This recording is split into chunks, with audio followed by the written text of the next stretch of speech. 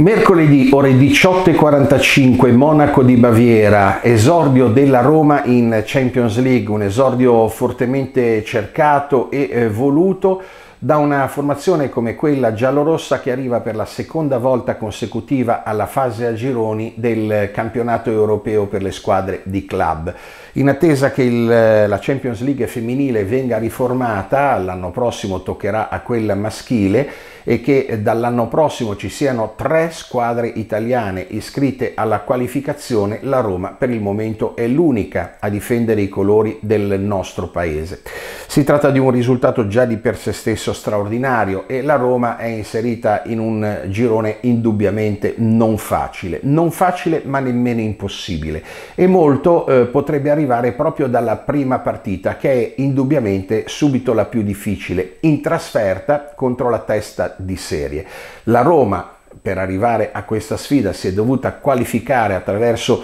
un turno preliminare il Bayern come quarta eh, società del eh, ranking UEFA per numero di punti non ha eh, avuto eh, questa necessità. Il Bayern, è vero, tra tutte le teste di serie probabilmente era la eh, meno qualificata e il Bayern a livello europeo e di Champions League non ha mai ottenuto dei risultati straordinari. Basti pensare che se la Roma nella sua seconda stagione europea arriva alla seconda fase a gironi, il Bayern dopo 11 stagioni europee è comunque alla sua terza fase a gironi. Ma questo dipende anche dalla riforma della competizione che negli ultimi anni è cambiata molto. In realtà il Bayern in passato è arrivata alla semifinale ben due volte, nel 2019 contro il Barcellona, nel 2021 contro il Chelsea, perdendo in entrambi i casi contro squadre che poi avrebbero perso in finale il trofeo.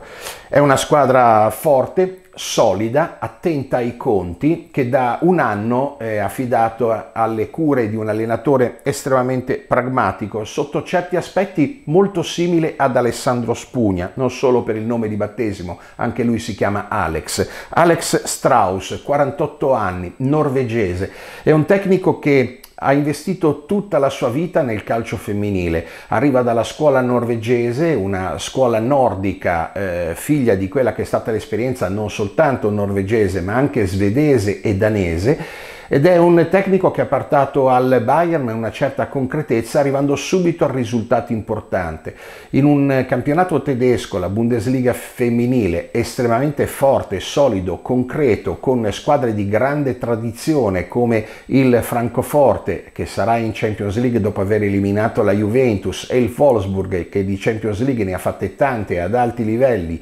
vincendone anche qualcuna, il Bayern lo scorso anno ha vinto il suo quinto titolo nazionale dopo diversi anni di digiuno. Il Bayern tra le squadre tedesche forse ad alto livello è quella che ha vinto di meno e che a livello europeo non ha mai vinto nulla. Proprio per questo la Roma può davvero pensare, se non a Monaco di Baviera, sicuramente al Tre Fontane, a fare la differenza, ad alzare ulteriormente l'asticella. Ovviamente è una squadra forte, tecnicamente importante con giocatrici di grande esperienza internazionale su tutte la nazionale tedesca Lina Magul ma soprattutto là davanti Pernilla Harder una giocatrice con una eh, esperienza in eh, zona di gol eh, incredibile con numeri straordinari ma la Roma già lo scorso anno contro il Wolfsburg ha dimostrato di potersela giocare alla pari anche con squadre molto più attrezzate e titolate.